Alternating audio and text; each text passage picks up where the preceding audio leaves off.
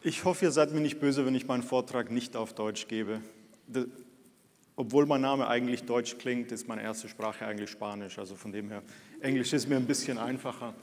So, good morning, everybody. What I would like to do today is tell you a little bit about the arms race and tell you a lot about the work that I've done in the recent years that has one thing in common, and the physicists will know what I mean. H bar is zero. In other words, I do classical optimization. And for some reason, it became very important to understand classical optimization to be able to understand quantum optimization. So what I'd like to do is, I would like to start very easy, just by telling you a little bit about optimization problems in general and optimization methods. In particular, why do we need new technologies? And then hopefully I'll be able to convince you that there is a deep synergy between classical optimization, statistical physics, high performance computing, and quantum computing. And those things really go hand in hand. And so what we've been doing is we've been using statistical physics methods to evaluate benchmarks, to evaluate hardware, but we've also been developing state-of-the-art optimization codes, for example, SAT solvers. Uh, we just submitted something to the SAT competition that is about a thousand times faster than last year's winner, so we're very excited about that. But we're also looking for the killer application for quantum annealers, and this is really important. So far, people have just played with a machine. The question is, can it be useful for something real, like something in technology? And so the big questions to be answered are, is a quantum annealer faster than current technologies? And does it do something that a classical machine can't do? And this is work that I've done with Firas Hamze at D-Wave. He's actually a machine learning person. He's the person that got me access to the D-Wave through the back door. Salvatore Mandran Alejandro at NASA, and uh, Stefan Schnabel in Leipzig, and of course, the bunch of misfits, misfits that work at Texas. You see, we typically wear much shorter pants than these here, so good. Let me start with optimization. I don't think I need to convince you that nature is likely the best optimizer out there. For example, there's a reason soap bubbles are spherical. It's the minimal surface. If you find a square bubble, please let me know, okay? Lightning usually chooses the path of least resistance, and even though when you look at meandering rivers in the Amazon, they seem to be randomly going through a landscape, they're also looking for a path of least resistance. Now, we can learn from nature. For example, if you want to design the new roof of the new stadium in Munich, you can put it on a supercomputer, or you can take a wire, bend it in the shape you want the stadium to look, you dip it into soap, and you solve the problem with one simple dip. Okay? So a soap bubble will always give you a minimal surface. You can, for example, also solve a maze with an ignited plasma. You take a maze, you fill it with gas, you put an electrode here, one here, you light the thing, and nature will instantly solve the maze for you. Just take a picture.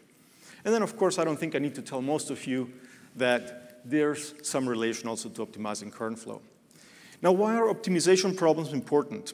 Well, they play a key role across disciplines engineering, industry, science, you name it. If you want to send a space probe out, you have to solve very complex optimization problems. Now, a lot of you might be thinking we're talking about flight plans and scheduling and things like that, but the hardest ones to solve are actually verification and validation. If you want to make sure that the probe works, so if part A breaks and part B doesn't break, but part C kind of breaks, does it still fly? You see, you have all these if statements. You become a really nasty problem. And if you, for example, if Lockheed Martin builds a new fighter jet, they spend about 40 to 45% of the cost just in verification and validation. So being able to do this faster is very, very important. Well, scheduling, I don't I think I need to convince you this is a very complicated problem. The more people you have, the harder it is to throw a party. And then finally, something that is very interesting to me, optimization has been used a lot in material discovery, where people are actually just running optimization algorithms on chemical components and discovering new materials before they have been synthesized. Now here I will talk about a subclass of optimization problems, and these are so-called binary problems. You have n variables, they are 0 or 1, plus or minus 1, whatever you want. And then you have a cost function h, and the physicists will know this h stands for Hamiltonian. And this cost function returns a number that characterizes optimality. In other words, the smaller the number, the better you have solved the problem. And the goal of any emphasis here on good optimization method is return the minimum of this cost function, ideally exactly, but that's very hard, but definitely efficiently. You want to know quickly. You don't want to wait the age of the universe. Let me show you one of the simplest problems that turns out to be one of the most difficult, and that is the traveling salesman problem. Suppose you have 72 cities or say 72 products in a supermarket and you go shopping. This is typically how students in Texas go shopping. They just run from shelf to shelf and you have to elbow them out of the way. Now, this is a very simple problem to pose, but it's a very hard problem to solve. And if you look at it, given our locations of n cities, and the goal is to find the shortest path. And your cost function is very simple. It's just the sum of the line segments connecting the cities. And you can run an optimizer like simulated annealing on this, and then you find your shortest route. Okay? This seems to be a very easy problem, but the solution space is n minus 1 factorial. So with 100 cities, you're already looking at 100 factorial different routes. If you have a million cities, like say UPS, there's no way you will ever be able to solve that exactly. Best case algorithms scale exponentially in the input, and this problem is classified as NP hard. Now, what does this mean? Well, there's many other optimization problems that are very interesting. You have the so-called constraint satisfaction problems. This is similar to this verification and validation. You have a Boolean formula, x11 or x12, and, and so on and so forth. And then the question is, can you find an assignment for these variables x so that this whole thing, which can be very long, evaluates to true? And this is a very hard problem to solve.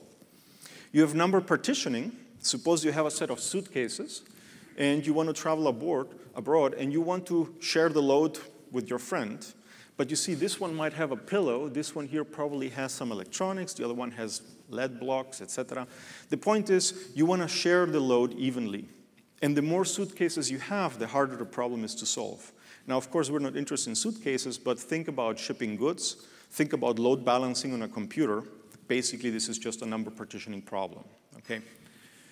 You have minimum vertex covers. Those of you who like to go to museums, have you ever seen that they like to stand at the edge between two rooms? It's very simple. You can look left, you can look right, and you're covering two rooms with one guard. And the question is, what is the minimum number of guards you can have to cover all rooms in a museum?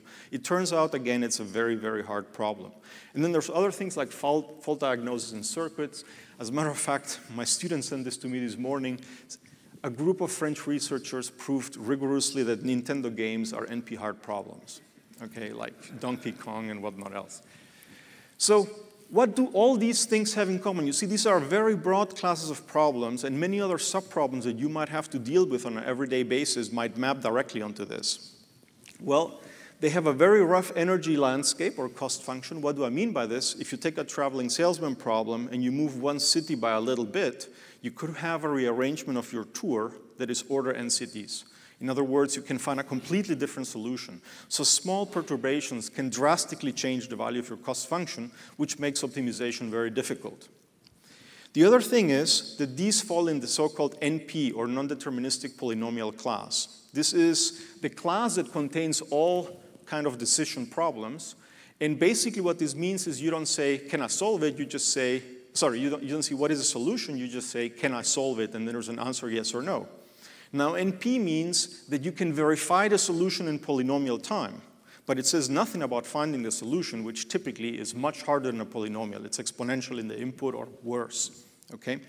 So you see, many problems, even though they're this subclass of binary, fall into this very hard class, and they all can be somehow mapped onto what is called a quadratic unconstrained binary optimization or QUBO problem. And a QUBO looks nothing else like this. You have these QIJs, which basically relate the Boolean variables to each other. And you have the Boolean variables plus minus 1 or 0, 1, whichever you want. Now you see, if you can build a machine specific to solve this type of problem, you could, in principle, tackle all of these very, very efficiently. And this is the goal of building new quantum annealing technologies. Okay? So you have a very simple representation for many, many problems. So how do we solve these today? Well, there's two types of algorithms that we use on classical computers. We have the exact methods, They get you the solution guaranteed, but they're not practical. They only work for very small problems, mostly because it's usually some kind of exhaustive search where you just cut off pieces of phase space that you know the solution might not be in. And then you have heuristic methods, which are very fast, but you don't know if you found the optimum. And that's a bit of a problem because you want to make sure sometimes that you have the optimal solution. Now, because exact methods tend to be so inefficient, the most common approach is heuristic. And the problem you have is that to make sure that you found the same solution, you will run your algorithm many, many times over and over with different initial conditions to see if you find always the same optimum, or at least a substantial amount of time. And then you can be kind of certain that you found the solution. And the big question is, instead of doing this in a big machine room, can we replace it by some quantum device that is non-deterministic, like my cat? So why do we want to do this? Well, we all know about Moore's law, and Nature earlier this year had a nice editorial called Beyond Moore's Law, because we're kind of reaching a plateau when it comes to classical computing. What does Moore's law say? Gordon Moore predicted in the 60s that roughly every two years the transistor count would double. And this is great. You see here are the years, here's a log scale, and these dots are different transistors, and you see you can very nicely draw a line through it, and here you start with the Intel 4004 processor, Westmere, AMD K8, it all beautifully falls on a line. So you can just say, well, fine, I'll wait 10 years and then I can solve a problem about 30 times uh, you know, larger. The problem, though, is what most people don't look at is the clock speed. And if you add the clock speed to the picture, you see that up until 2000, when I did my PhD and you could boast that you have the 500 megahertz processor versus your friend only has the 266 one, it stopped at around 3 gigahertz, roughly, between 2 and 3. And the reason is that we're reaching um, fabrication limits. There's only so much smaller you can build these devices. There is noise and error correction at some point is just unfeasible. So in some ways, we have hit a wall. Now there's another thing that a lot of people don't talk about, and that is that a petaflop computer is something that you see all over the world. People are trying to build exaflop machines, 10 to the 18 operations per second. But what people don't think about is that you need gigawatt power to run such a machine. So it's like lights for Munich running a simulation. You know, that's about the choice you have to make. And so large companies like Google, IBM, Microsoft have been very heavily investing in new technologies already for many years, mostly in the quantum realm. And so the question is, is this a technology of the future? Now, I think Microsoft has a bit of a pioneering um, role in this they have been doing a lot of research in this field, mostly in the topological quantum computing field. And so, you know, in some ways, what we would like is to be able to open a computer and then just start Windows Q. But we all know what happens with Windows. It just doesn't quite do what you want, which is why I use these nice silver shiny boxes with a fruit on it. Now, where are we now, joking aside? Well, as I said, we need a definitely a paradigm change in computing. So we want to use quantum mechanics to build these non-deterministic machines. We want to use quantum parallelism and tunneling you know, to overcome barriers. And of course, algorithms that have been proven would run much faster on a quantum than a classical version. Think of Shor's factoring.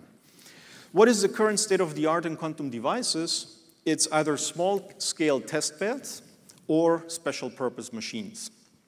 Now you can buy quantum devices. There's a company in Switzerland called ID Quantique. They will produce you a quantum random number generator. This is what it looks like. I have one in my office. It's pretty darn useless because it runs at four megahertz. So, you know, simulations don't do well. But it's a very beautiful device. You have a photon source, a semi-transparent mirror. The photon either tunnels or gets reflected, and that gives you your random bits, zeros and ones. They also produce quantum encryption machines, and there's others devices that exploit quantum mechanics. As I said, the current state of the art are little test beds as well as special purpose machines. Now, I didn't bring you a quantum computer, but I can tell you right now where you can go and use one right away. There is a website by IBM, just Google IBM Quantum Experience. You can create an account, you get enough credits to run a few simulations, and they have a five qubit quantum computer with a web API that you can use and program yourself just by drag and drop of circuits. Beautiful little toy. You can use it. You can implement all kinds of gates like a controlled NOT and rotations, which means the thing is universal. So you can, in principle, in principle, build a device that can do as complex things as this laptop, in principle. Okay, but five qubits is just not enough. So I'll show you an example that I played with right before I came here. I implemented a controlled NOT gate. What is it? It's a two qubit quantum register. Basically, you have a control qubit. If it's set to one, it will behave like an exclusive OR. And if the control qubit is set to zero, it behaves just like the identity. So if you were to write it as a matrix, it's a four by four matrix, two ones in the diagonal, and then two ones in the off diagonal, okay? Identity, exclusive OR. So when you log in, you have identity, XYZ rotations, Hadamard, Toffoli gates, whatever you want. And you just drag and drop them onto these lines, which are the five qubits. You connect them together, and you put two readouts on it. And then you can just press run, and you're running an actual quantum computer. Okay? And what I strongly encourage you to do, because I forgot to add that plus here, is that you first simulate it to know if you did something wrong in your logic while programming it. But ideally, for this type of setup, if I set my target qubit to 0, Q1, and my control qubit, you see I put an X gate here, so I convert the 0 to a 1, then I should expect an output only for 1, 1, and all the others should be 0 after the quantum computation. This is theory. In reality, after doing uh, 1024 shots, you see that 1, 1 appears about 91% of the time, and there's a few percentages down here. Now you might say, well, this is awesome, right? We just used a quantum computer. But if you think about it, I only used of the order of six or so gates, and I already have an error of about 10% here. So if I were to use 10 gates, it gets worse and worse and worse. And clearly, there is just still not enough coherence in this small device. So it's cute, but not scalable. And so maybe we should go back a step, think about the 1930s and 40s where we built special purpose computers to solve problems, and see if we can do the same thing with quantum devices. Now, what is a special purpose computer? It's a semi-programmable computer designed to perform a limited set of tasks, okay? It's not something you can play a game on, it's something can only do one thing. Think of a coprocessor in some ways. It's actually something very old. There is Antikythera 100 BC that was found on the bottom of a ship in the bottom of the Mediterranean, and it was a mechanical device to predict the position of celestial objects.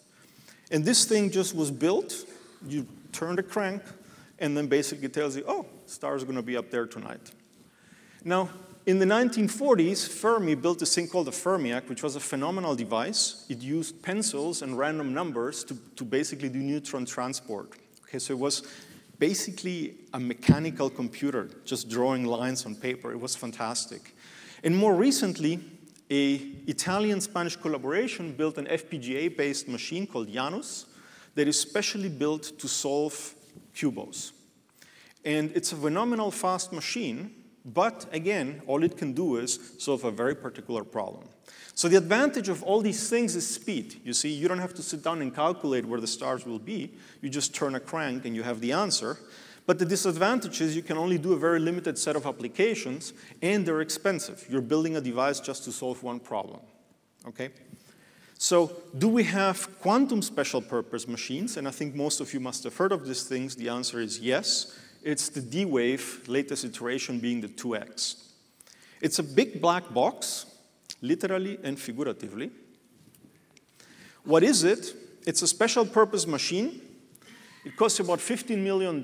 People typically lease it because then you get free chip upgrades. It's radical new chip technology, and you have 1,000 superconducting flux qubits. IBM 5, this thing, 1,000. With 1,000, you can start doing interesting things. Several different companies slash governments have purchased these. And why is this so important? Because in principle, it can minimize any problem described by a QUBO. You see, so all these problems that I mentioned earlier can in principle be solved on this type of machine. Now, what is actually inside the huge black box? You have the Washington quantum chip. This is what this looks like. It's beautiful. Actually, you have these three tiers of wires coming out. Very nice to look at. You put that thing on a cryo mount. The cryo mount goes at the bottom of a cryostat. You want to cool this down to millikelvin or, or um, to make sure that, you know, A, it's superconducting, and B, you don't have noise. And then you want to put it in a big black box that is shiny because you want to sell a product, but it's basically a Faraday cage to prevent there to be any noise. And then you have three racks, which are just pretty hidings for the pumps. Now, you can go inside the black box when you visit D-Wave, and you can see roughly how big this thing is. In here, this goes into the vessel with the cryostat, and down here is where the chip is mounted. Now, I said that this thing has 1,000 superconducting flux qubits, or quantum bits. What are these? Well, please focus on the MRI machine. Some of us have been in there more than once late, lately. So I think everybody has seen an MRI machine. Basically, you have a magnetic field that produces, sorry, you have a current that produces a magnetic field, and therefore you have a flux going through this loop. Now, the way the qubits are implemented on D-Wave is basically the exact same thing, except on a much smaller case. You have tiny little either niobium or aluminum oxide rings. There you can have clockwise or counterclockwise currents, and you see these induced fluxes either up or down, and therefore you can produce any superposition of states in these little loops by having these currents flowing around. It's a highly non-trivial task to, of course, load these fluxes onto these individual loops, and the interaction between the individual qubits are nothing else than also superconducting fluxes. Okay? So the whole thing, the interactions as well as the qubits are the same technology, basically. And like that, you can then wire things together and build a quantum optimization device. In this case, you're limited to four bits resolution. So a number that has more than four bits precision, you cannot encode in the device. And one of the biggest drawbacks is that you have a hardwired topology. Like this is a cartoon that I just drew. In other words, you have to wire them together, so it's not that you can, say, solve a traveling salesman problem with a particular route. You need to somehow embed that problem onto the topology of the computer, and that's a huge issue because embedding, for example, of a traveling salesman problem with n cities requires from you n to the 4 qubits. And if you have 1,000 qubits, you're solving a tour that you can solve with a pencil, okay? Still, this is a huge technological feat, so why the fuss? If any of you has ever come across D-Wave's website, it says the quantum computing era has begun. I wouldn't say that. It's the special purpose quantum annealing era that has begun. And, you know, when you have a website like this, then you make it to the cover of Time. You have a lot of wild media coverage. There are all crazy claims of speeds higher than commercial codes. And, you know, at least me, if I see something like this, I just want to poke holes into it. So the big question is, can this thing do anything that current technologies cannot do? Now, I've told you the class of problem that you can solve with this machine. I've told you roughly how the machine works, what it is made out of, what the goal is of all this, but I still haven't told you how the machine optimizes. And for this, we need to go back 7,000 years. As a matter of fact, Germany was very important in these developments. Because in the Neolithic era, people discovered that if you cool a piece of metal slowly, you anneal it, it becomes better, and you can more efficiently bash each other's heads in, okay? Yeah, that's what we all want, you know. So you can take the same idea and simulate it in a computer, and this is called simulated annealing. The idea is very simple. You have your Hamiltonian or your cost function. You sample it, say, with some kind of stochastic algorithm like Monte Carlo, and then if the system is thermalized, you cool it, and then you do this according to some very nice slow schedule, and there's even a theorem that proves that you will find the optimum in infinite time. So the method technically works, but infinite time is just not short enough. Um, and then hopefully you'll find a solution to the problem. Now the problem is that this is a one-way type optimization. You see, you start at high temperature and you cool down in the hope to find an optimum. So if you have a landscape like this thing over here, it's very easy to get stuck in some metastable state. So it's a very inefficient optimizer. Now, how do you work around it is very simple. You run it in what is called repetition mode. Remember what I said earlier about heuristics? You just start with many different initial conditions, repeat the simulation tens of thousands of times until you hit the jackpot. Okay? This is the classical version, and this is what we call a sequential algorithm, because you start at one point and you sequentially reduce a control parameter. Now, the quantum annealer does exactly the same, except that it uses quantum fluctuations. So what you do now is you start with your problem, you add quantum fluctuations, so now you don't have a dot anymore, you have basically a wave function. And then basically you have fluctuations that determine a tunneling radius, so you're not limited anymore to a local search. And if there is a barrier that is thin enough, potentially you can tunnel through the barrier and then find the optimum of the problem. You see, so if you have something with many barriers that are thin enough, you should have a quantum advantage in theory. And the way you do this, and this is for the experts in the audience, is you have your original QUBO, you have a transverse field that does not commute with the original quantities, that produces quantum fluctuations, and those you reduce according to some protocol. Now, before I can tell you about the results, for example, that Google put out in the press last year, I need to go a step back and tell you a little bit more about the simplest, nastiest QUBO out there. And the simplest, nastiest QUBO out there that we need to study for quantum speedup is called a spin glass. Now, I know that there are some of you in the audience that are not physicists, right? Okay, I see some heads moving good. For a second, I was worried here. So let me start with something simple that everybody knows, a magnet.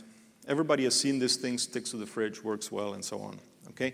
So if we zoom into the magnet, you can assume there is some kind of lattice structure or chemical structure, whatever you want to call it. And at each of these vertices of your structure, you can have other magnetic grains, atoms, moments, you name it, just little magnetic entities, okay? And so if you think of these as tiny little magnets, you see if most of them point in the same direction, you will get a net magnetic moment, and this is where this thing sticks to the fridge. Okay, it all adds up. Now, 90 years ago, actually this year, Ernst Ising solved this model during his PhD known as the Ising model. And this is the mathematical representation of the pictorial representation I showed you in the previous slide. Basically, this matrix you call Qij, it just represents interactions between the different moments. And these little magnets are a Boolean variable. Either it's this way or that way. Very, very simple to do. And then you can put it all down mathematically. You have a sum over these Qij's as ISJ's. The sum in this case is over nearest neighbors. And because you want a ferromagnetic order, in other words, all the Boolean variables being the same value, you set the Q to be all one for all spins. Note that there is an overall minus sign here. This is a very simple model. I like to call it the fruit fly of statistical physics because you can very richly study many, many things with small variations of this model. For example, in two space dimension, it has a thermodynamic phase transition at high temperatures. Nothing happens. But then at some point, you have a critical temperature, which in 2D is 2.269 something, where the magnetization, which is basically the average over these magnetic moments, suddenly becomes uh, non-zero, and the system magnetizes with all spins up or all spins down. So a very simple model to describe a magnet. And now the important question is what happens if we add disorder? This is where it gets ugly, like really ugly. So if you now take this simple model that I introduced before, this QUBO, but now you take these QIJs to be random, you will see that you obtain a really horrible problem to solve. And it's very easy to pose, but incredibly hard to solve. Let me go over the ferromagnet again here, just so that we're all clear on what is going on. Remember, we have an overall minus sign. So if you want to minimize the energy of this four, by, uh, for, of this four spin plaquette, then you want to have the product of all pairs as ISJ to be positive. If as ISJ is always positive with the overall minus sign and this is always plus one, you minimize the expression. So it's either all spins point this way or all spins point this way. Okay? Now, we can add disorder and just change one of these bonds. You see, if we just look at these two right here, and you have a minus, this minus here will cancel this minus, so to make this dimer contribution the smallest, you do this by having the product being negative. In other words, one variable up, one variable down, or vice versa. And so if you now go around the plaquette, you see this guy and this guy, very happy, have a plus point in the same directions. These two don't like each other, they have a minus, everything's good. But now this guy in the lower left corner has a serious issue because it wants to agree with these two and they point in opposite directions. It's easy here in this case to see, do the math, what the minimum of the energy would be. But if you have now a system with a thousand of these plaquettes and randomly speckled with minus signs, you're going to find yourself solving an NP-hard optimization problem. And you see, it's very easy to pose. It's very rough in the energy landscape. You have many metastable sets, so it's computationally very hard. If the topology is non-planar, it's in the NP class. This is proven, and it's ideal for torturing algorithms and computing devices. If you find an algorithm that can solve this very efficiently, you implicitly have developed an algorithm that can solve all the other problems that I showed you before efficiently. So let me tell you a few of the early benchmarks of the D-Wave 2. Some of you might have heard about these things in the press in 2014, last year in 2015, etc. And the very early benchmarks had a lot of problems, problems that computer, uh, sorry, quantum physicists didn't really think of. This is where the statistical physics comes in. Basically, the first issue was the choice of the disorder and the algorithm. There were these beautiful results by Rønnow et al. It was a paper in Science that was fantastic. They selected the Jijs to be plus minus one. This would be the easiest thing to do. They ran it a thousand times, did a thousand different coupling choices, determined what is called a time to solution, how long does it take me to find the solution to the problem, and they ran the D-Wave 2, at this time with 512 qubits, against highly optimized simulated annealing classical codes. Here in a log-log scale, you have a heat map of these different experiments, and if the D-Wave was exactly the same as fast as a quantum, as a, as a classical device, you would find a smudge along the diagonal. But you see that the smudge moves away. In other words, D-Wave is much, much slower for the vast variety of problems. Having said that, it is faster for a subset of them. So what they said is, okay, we did these experiments, we deem our results to be inconclusive. D-Wave 2 does better on some instances, but fails against highly optimized GPU codes for many, many of the problems, all these up here. Having said that, if you think about it, silicon technology and algorithms have been around for 50 plus years. This thing hasn't been around for even a decade. And it's already keeping up with excuse me, very well-established technology. Now, one big issue, though, is that you're, you're comparing the fastest dirt bike against the fastest street bike, either on dirt or on the street, you see? So it's not a really fair comparison because it's two very different technologies. Now, the second very large problem was the choice of the disorder. As, uh, pardon me, the choice of the chip topology. D-Wave built this on what they call the chimera graph, which you see right here. The idea was very simple. There's very little interference between the different qubits. There is an individual addressing of the qubits that is very easy in this topology, and it's scalable and has large automorphisms. But this thing has a big issue. The current chip has 1152 qubits in theory, but you always have trapped fluxes, which means that you see these gray ones here, these are dead qubits. So if you have a problem that you want to solve, for example, a constraint satisfaction problem that you have to embed onto the D-Wave, you already have an overhead due to the embedding, but then you have an additional overhead because you have to work around these dead things here that break the symmetry of the lattice. Okay? So this is a very large problem for two reasons. Number one, huge overhead, and number two, it's effectively a 2D spin glass. Now, why does this matter? It matters because the 2D spin glass has no finite temperature transition. So basically, excuse me, if you were to now study these random benchmarks like that in 2014 on this D-Wave device, a thermal algorithm has an unfair advantage. And the reason is that these dominant barriers actually only form when you're very close to t equals zero. So the quantum annealer is always at a low temperature. It has always these barriers. The thermal annealer comes down from no barriers and only finds them at the very end. So it's a bit of an unfair comparison. The other thing is that the choice of the disorder matters. They used bimodal disorder. And typically speaking, you have about 10 to the 7 solutions to the problem. So it's very easy to accidentally find the right solution. and so it's a bit like you want to play golf, and your golf course has 10 to the 7 holes. And so it's very, very easy to hit a hole in one. So the solution that we proposed, and I'm going to skip all this because the talk would be too long, and then Google took on is to engineer problems that work around the chip limitations and sorry, and that are engineered to detect any quantum advantage. Okay? And this is basically what we're going to do here. So we're to plug all these holes in some way and make the problems more sensitive to quantum problems or quantum effects. Now, last year in December, there were a lot of press releases. Here is one from PC World. NASA, Google reveal quantum computing leap that leaves traditional PCs in the dust. And the claim is that the quantum machine is 100 million times faster than a classical computer. When I read this, excuse me, I immediately thought, I gotta fix this. There's no way that this is going to be true.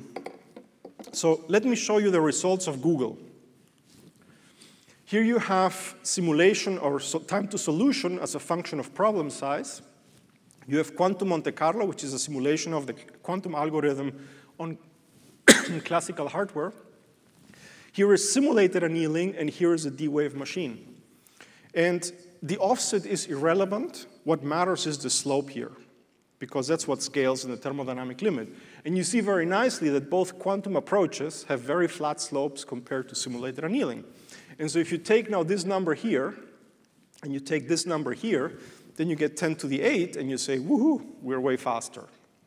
So this, of course, is a pile of horseshit pardon if I put it that bluntly, because again, these offsets depend on the machine you're using. I can always reduce this number by using more cores. but what really matters is the slope. And what Google showed is that for specially tailored problems, quantum approaches scale better. Now, what are the problems that they studied? They call them the weak strong clusters. Remember those chimera lattices that I showed you earlier? What they did is they always take one K44 cell and connect it to another one. Everything is ferromagnetic here. And then these on this, what is called the, the strong partner, are connected to another of these clusters. Now, you see there is a strong negative field. My throat is killing me today. in a slightly smaller positive field. And so when you cool down, you can very easily get fooled into going into the wrong valley. Because it's ferromagnetic, you know that everything will point in the negative direction because of this. But it's very easy to get lost and fooled by this other cell that is messing with the solution. And then this cluster here, this gray box, which I represent here small boxes, are just randomly connected to each other with this random spin glass backbone. This is the problem they used, and it's designed to fool an algorithm like simulated annealing. Now, the problems, though, are that, as we know, simulated annealing is a poor optimizer, and Monte Carlo has a lot of trouble in external fields. So we decided, well, what about if we use a state-of-the-art sequential algorithm known as population annealing and see if we can do as good or if not better. Now, in a nutshell, what is simulated annealing and what is population annealing? Remember, in simulated annealing, this is what happens. In simulated annealing with repetition, you might find a solution. And in population annealing, it's a very efficient method where at each temperature step, you perform a resampling across the, the Boltzmann distribution, and then you kill the unfit ones that get stuck, and you repopulate the ones that are fit. And so in principle, what you're doing is something like this, and therefore you have a much higher chance of finding the optimum. Now, I don't have much time to explain in detail how the method works. Some people call it particle swarm algorithms. But what I want to show you here is just this figure. I want you to focus on this. This is population annealing versus simulated annealing on 512 sites and 1,000 sites. And basically, the resampling step is a tiny little overhead. And I want you to just focus on these two orange lines.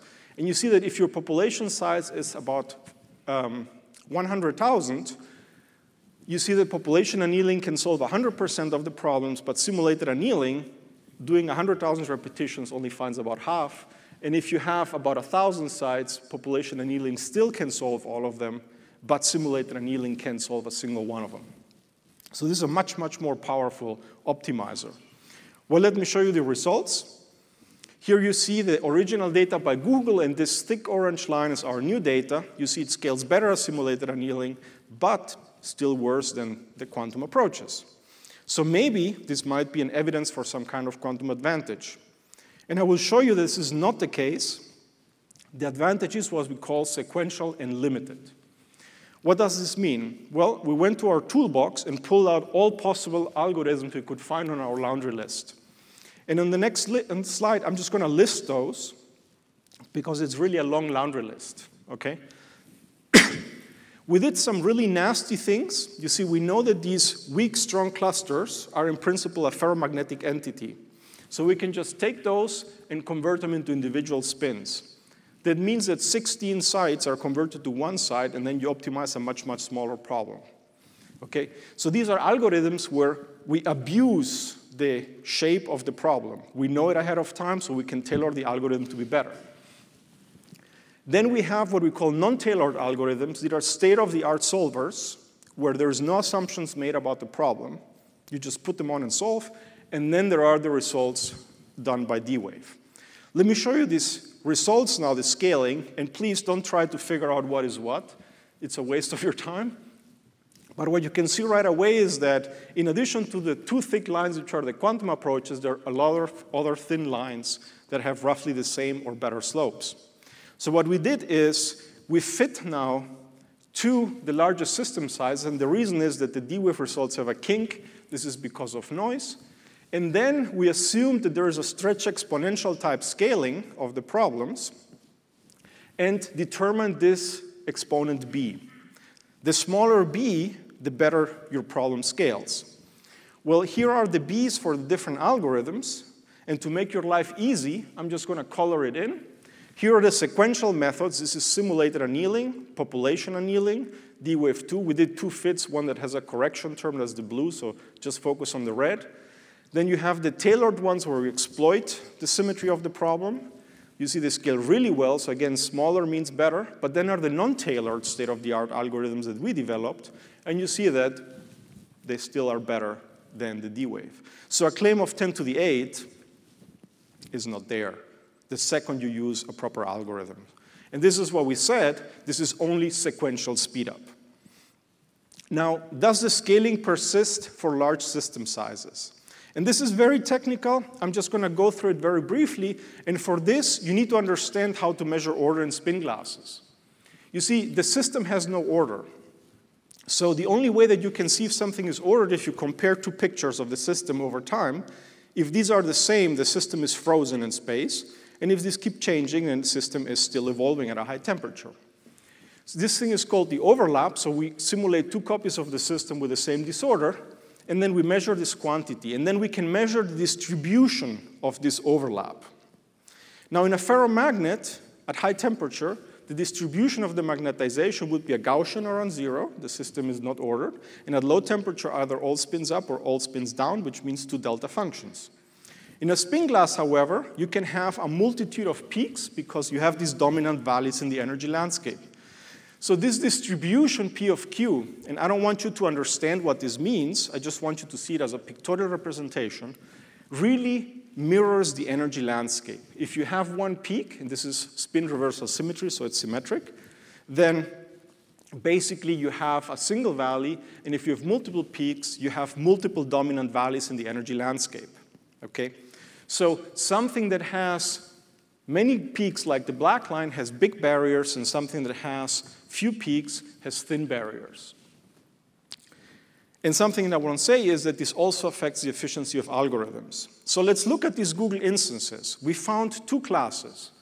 This is one, so either one dominant valley or a very thin barrier, or we found this, where we have two separated peaks.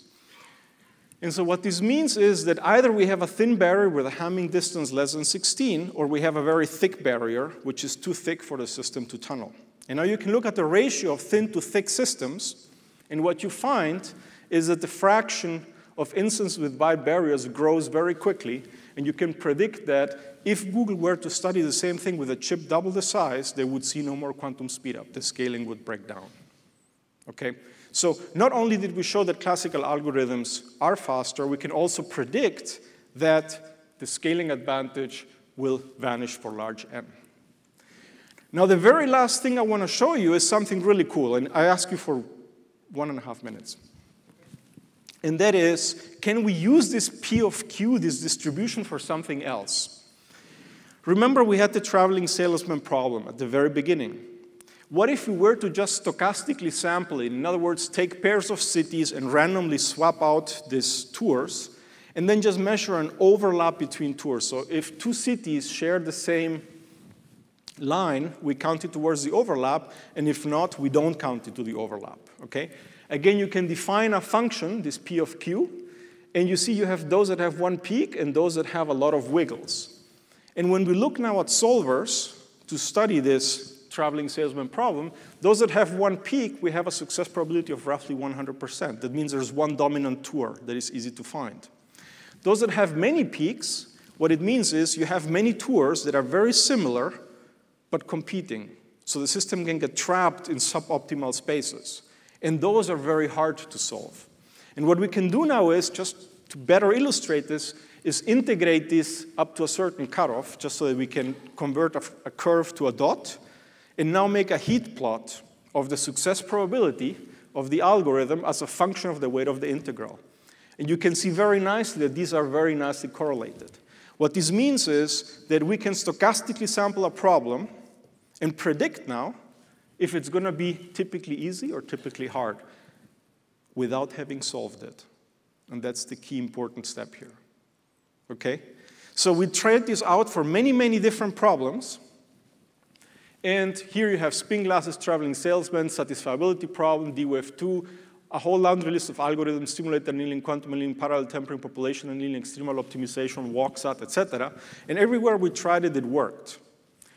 Well, what does this mean? Well, we can go now and we can engineer problems, you know, just by randomly producing and then mining them, where quantum annealing excels and classical algorithms fail. But this is a bit of cheating, you see, because you are going in and picking out the cherries where it will work. What is more interesting, though, is we can use this function now to predict for which problems quantum annealing will excel.